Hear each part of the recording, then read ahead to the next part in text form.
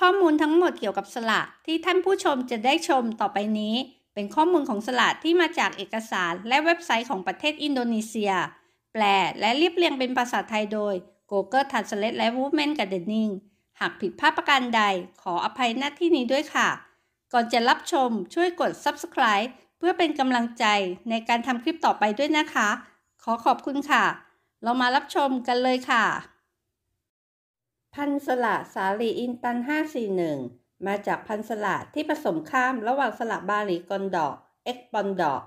ต้นพันธุ์เกสรตัวเมียคือสละบาลีกอนดอก มาจากไซบีดันกาลังแอซม และพันธุ์สละเกสรตัวผู้คือสละปอนดอก มาจากแทมเปลเซริมัน เนื้อผลกรอบ รสหวาน ไม่มีรสฝาด และมีกลิ่นหอม สละนี้มีข้อดีในด้านคุณภาพผล คือ เนื้อผลหนา